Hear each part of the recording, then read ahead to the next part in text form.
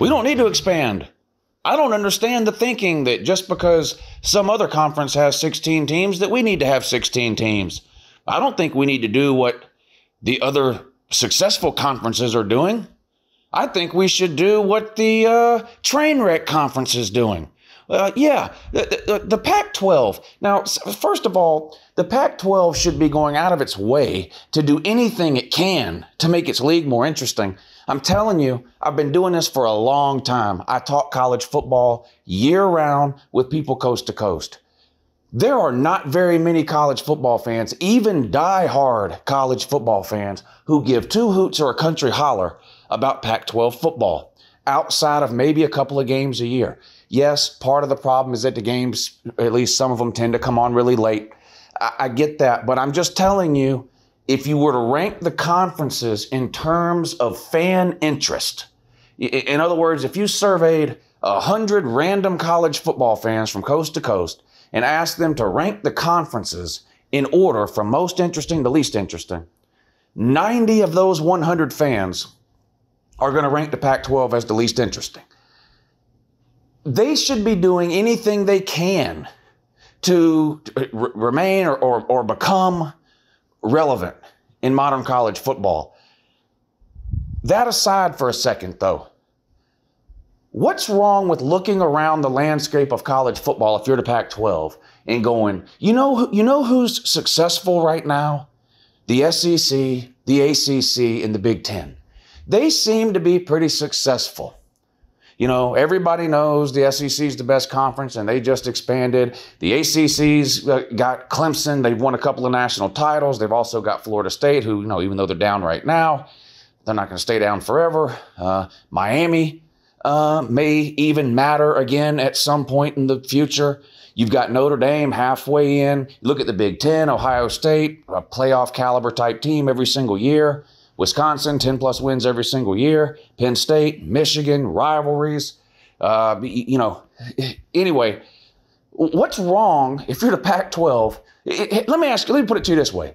If you're the Pac 12 and you hear, you're sitting around, you're watching, you're hearing all this stuff that's going on with the Big 12, right?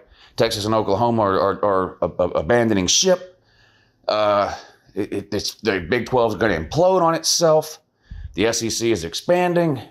The ACC and the Big Ten are in pretty good shape. If you're the Pac 12, when you're looking around at that and you go, okay, which of those four conferences do we want to try to uh, model ourselves after? Wouldn't you pick the, the one, at least one of the three successful conferences?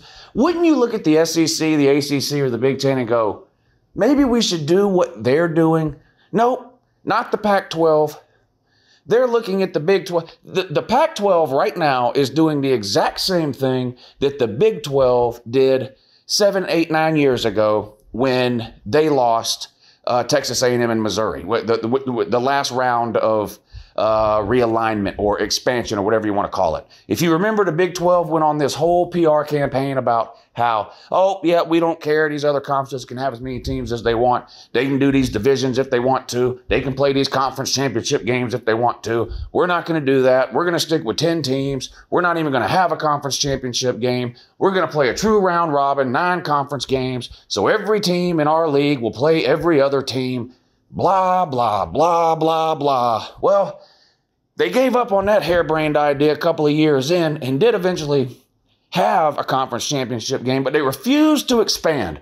We don't need to expand. Why should we expand? We don't need to. 10 teams is the right way to go. While all these other conferences were adding teams, well, not most of them, adding teams, making more and more TV money, uh, becoming more and more relevant in modern college football. And the Big 12 was basically treading water. And now look, the Big 12 is basically dead. I'd be shocked if the Big 12 survives to 2025 uh, when te- Texas and Oklahoma are supposedly leaving, although I think they're leaving sooner than that. But the Pac 12 commissioner comes out today and goes, Why do we need to expand? Just because somebody else is expanding doesn't mean we have to. I don't even understand that thinking, is what he said. Uh, actually, he, he used the word paradigm uh, because he's trying to make you think he's the smartest guy in the room. He goes, I don't understand the paradigm that just because one conference expands, uh, that that means we have to go out and expand. We're perfectly happy with the 12 teams that we have. Uh. Hello, sir. Hey, hey, McFly, can you hear me? Uh, if you're watching this video, and I'm pretty sure that you are, uh, look at what ha- look at what's happening in the Big 12 right now. That's going to be you, sir. Uh, that's going to be the Pac 12 in a decade or less if you continue to hold on uh, to, to this, this, this ancient philosophy that treading water in modern college football is the way to go. I don't understand how you can look around and say, let's do what the Big 12 did and see how that works out, instead of looking at the SEC or the ACC or the Big 10 and going, no, maybe we should do what they're doing since it appears to be working. No, they looked at the conference that drove itself off a bridge and told themselves, that's what we want to be. That's what we want to be. You ever seen a car wreck happen? I'm not talking about being involved in one. You ever seen one happen uh, from, from a little ways away? You can see it coming, can't you? Now you don't know what's going on. a lot of you know, driver distracted, whatever. Somebody runs a red light, so it's not you know. But you, it's like you can see it coming, and it's almost like it's happening in slow motion to you, right? As you're witnessing it from a ways away, right? We've been sitting around watching a slow motion car wreck in the Big 12 for 10 years, and literally Right after they drag the dead bodies out of the car, the Pac 12 comes by and does the exact same thing. I, I, I don't get it. I, I, just don't get it. Um, I don't know if it's these people trying to, to justify their ridiculous salaries, these, these commissioners, um, Bowlesby in the Big 12 and Kliavkoff or whatever this Russian guy is in the Pac 12, or, or, Ukrainian or uh, Ethiopian, whatever he is, I don't know. Uh, but uh, I don't know if it's them trying to justify their ridiculous salary. You don't always have to come up with some new groundbreaking idea. Um, if you can look around and see what's working, that. Just do that. Um, I, I don't understand. It just doesn't make any sense to me. I, I don't. If, if you run a gas station, right? And the gas station, and there's another gas station right across the street from you. In that gas station, the, the people are lined up uh, around the block every day for gas and to go into the store to buy stuff and one or two people trickle into your store every day. Okay? Then there's another gas station next door. That gas station is boarded up. Okay? It's half empty. And the stuff that is left in there is looking to get out.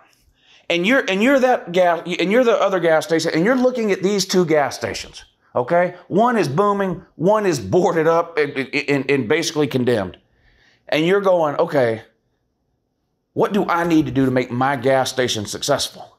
Are you going to do what the ones across the street are doing, where people are lined up around the block year round waiting to get in? Or are you going to do what the one next door to you did? It's on fire. The windows are, are, are smashed out. It's boarded up. It's half empty. The two best uh, products that gas station had to sell are gone, sold out, not never coming back. Who are you going to mimic your business after? I don't understand this idiot in the Pac 12. How can you look around at what's going on in the Big 12 and, and then the other three conferences and go, eh, yeah, the SEC, ACC, Big 10, eh, they're okay.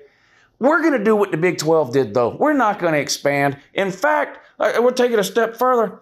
We're, we're looking to partner with the Big 12, not to add them as members, but in some sort of a schedule arrangement. Yeah, but this is amazing. Yeah, you've already done that. You did that. Hell, you did that with the Big 10. You have a, a quote unquote schedule arrangement with the Big 10. Uh, why do you think Oregon's playing Ohio State? Why do you think Washington's playing Michigan?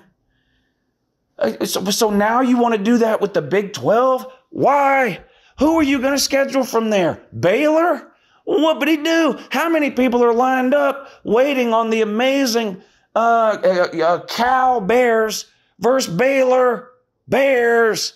Nobody, not even Smokey Bear, wants to see that game. Why are you? You're partnering. You're partnering with someone on hospice. Well, why would you go into business with somebody who is on hospice? The Big 12 is on hospice care. It's just pain management at this point.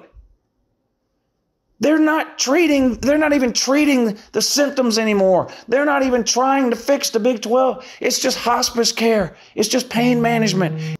It's just waiting for the Big 12 to, to close its eyes, take its last breath, and go to sleep. But good luck, Pac 12. Uh, we'll miss you in 10 years when you're gone.